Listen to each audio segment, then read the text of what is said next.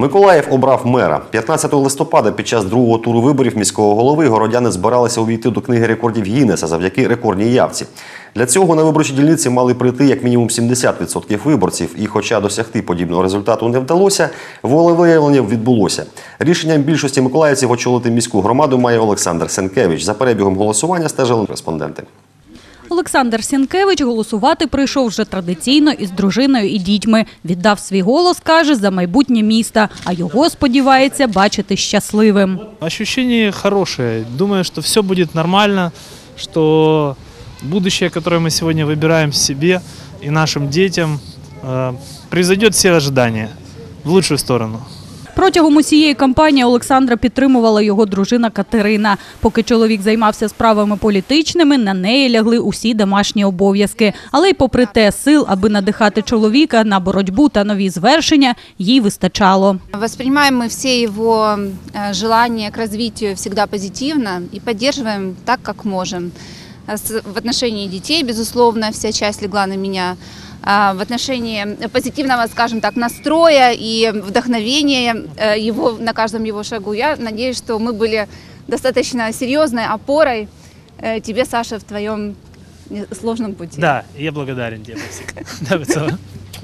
Не знехтували своїм громадянським обов'язком та прийшли на виборчі дільниці і решта миколаївців, про що свідчить і статистика. Якщо в першому турі виборів явка городян склала близько 34%, то вже у другому вона наблизилась до позначки 40%. Найвідповідальнішими виявились представники старшого покоління. Опираючись на палиці або під руки із рідними, вони все одно йшли голосувати. А от молоді зранку на дільницях можна було побачити небагато. Они не верят в это уже. Не верят. Вот у меня ни дочка не пришла, ни зять не пришел. Вот. Но мы с мужем ходим постоянно. Однак не вся молодь виявилася такою байдужою. Багато хто повірив у молодих кандидатів. Тож, окрім того, що самі приходили на дільниці, ще й рідних агітували, аби їхні голоси не пропали задарма.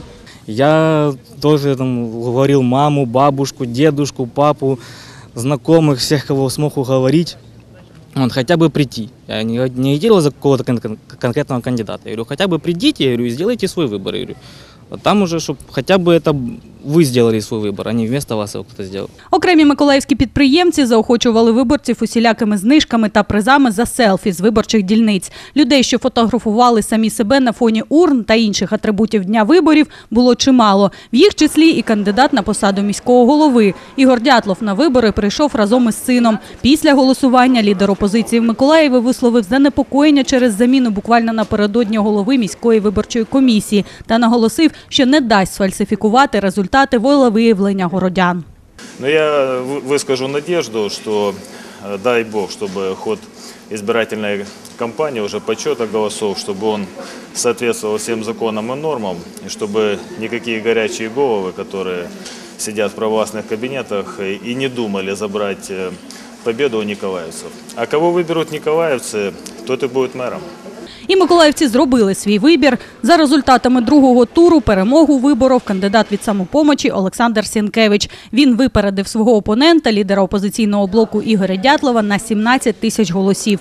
За даними підсумкового протоколу, Сінкевич набрав 54,9%, а Дятлов 43,28% голосів. Офіційні результати виборів були відомі зранку 16 листопада, але святкувати у штабі самопомочі почали ще вночі, адже паралельний підрахунок голосів свідчив про незаперечну перемогу пана Сінкевича. Першим нового очільника Миколаєва привітав його опонент Ігор Дятлов. А далі до штабу з квітами та повітряними кульками підтягнулись волонтери, народні депутати та небайдужі городяни. Останнім під гучні оплески прибув новообраний мер. На самом деле это наша общая победа. Уверен, что у нас с вами это, знаете, я не хотел бы пафосных фраз, но вспомнилась сегодня фраза Амстронга, который сказал, это маленький шаг для о- Сенкевича, но огромный, сказав. но огромный шаг для Николаева. Поэтому я думаю, что у нас все впереди и действительно впереди еще большая работа. Работа не позволить, не оправдать надежды николаевцев и те надежды, которые возложены на Сенкевича и его команду. Ну, собственно, на нас с вами, на Николаевцев. Мы вас поддержим.